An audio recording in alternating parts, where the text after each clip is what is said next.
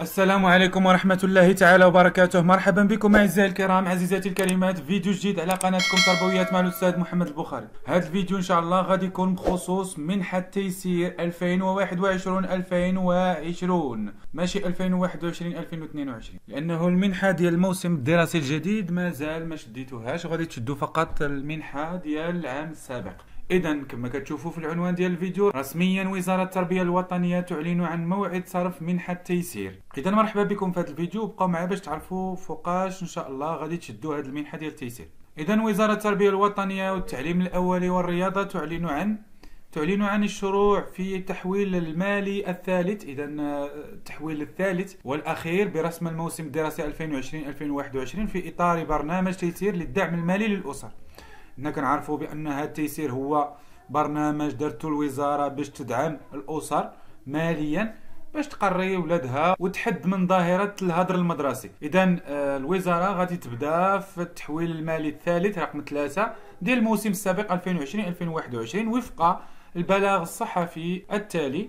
إذا الشروع في التحويل المالي الثالث والأخير برسم الموسم الدراسي 2020-2021 في إطار برنامج تيسير للدعم المالي للأسر وهذا البلاغ تصدر اليوم الاثنين السادس من دجنبر 2021 اذا غنحاولوا نقراو هذا البلاغ بشكل دقيق. تنهي وزارة التربية الوطنية والتعليم الاولي والرياضة إلى علم أمهات وآباء وأولياء التلاميذ والتلميذات المستفيدين. من برنامج تيسير أنه سيتم الشروع في صرف المنح المالية المخصصة للأسر المستفيدة من التحويل المالي الثالث والأخير برسم الموسم الدراسي 2020-2021 في إطار البرنامج.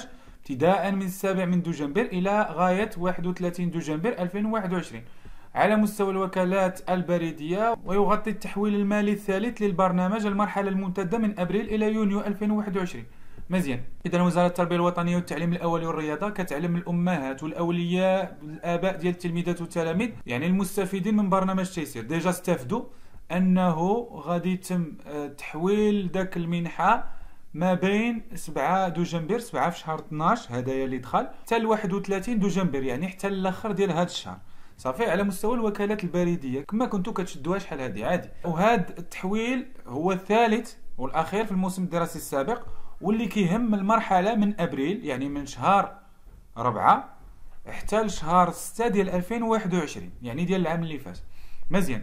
وحتى يتم تنفيذ هذا التحويل المالي في ظروف مواتية وفق الجدولة الزمنية التي تم إعدادها في هذا الصدد من طرف السيدات والسادة المنسقين الإقليميين للبرنامج بتنسيق مع السيدات والسادة المسؤولين الإقليميين لمؤسسة بريد بانك فإن الوزارة تدعو الأسر المعنية بهذا الدعم المالي إلى ربط الاتصال بالمؤسسات التعليمية المستهدفة ابتداء من التاريخ المحدد أعلاه وذلك من أجل الحصول على وصل الأداء موقع من طرف السيد رئيس المؤسسة التعليمية والذي يحدد الوكالة البريدية المخصصة لاستخلاص المنحة وكذا اليوم المبرمج للمؤسسة التعليمية لاستلام منحة برنامج تيسير. إذا هذه الفقرة الوزارة كتدعو فيها الأسر ديال التلاميذ بأنهم يربطوا الاتصال بالمؤسسة التعليمية يعني يمشيو عند المدير ياك؟ باش يشدوا من عنده واحد الوصل.